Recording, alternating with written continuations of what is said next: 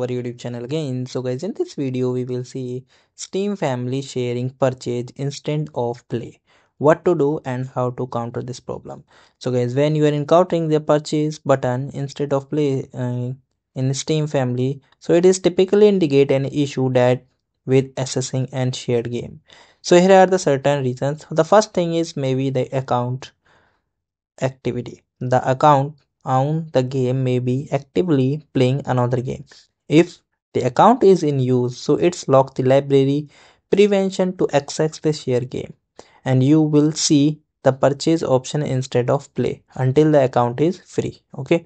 So guys you ask your friend and your family member who are which uh, the someone account you are using the person account who you are using. So you ask them that you are playing or not.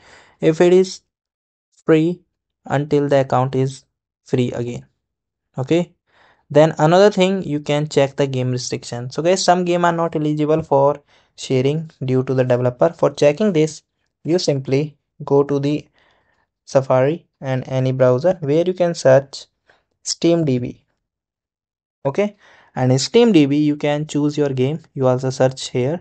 For example i am checking the eligibility of uh, counter strike 2 so then i move downward and here is the option of metadata and in the metadata you can check the option of here you can move downward exclude from the family family sharing. The publisher has marked this game as an ineligible. So guys if the uh, exclude from the family sharing your game so you are not able to play okay? And you also try to update your teams steam. So for updating your steam you simply click here and on your steam and here and here you can see the option of check update. So you can check the checking for the latest update.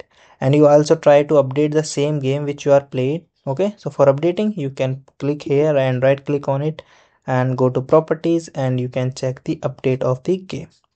The last thing is you just simply quit your steam and you can open it.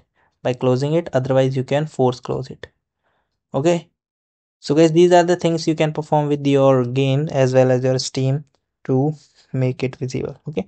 So guys thank you and have a nice day and subscribe our youtube channel for the further information. Maybe this video is very helpful for you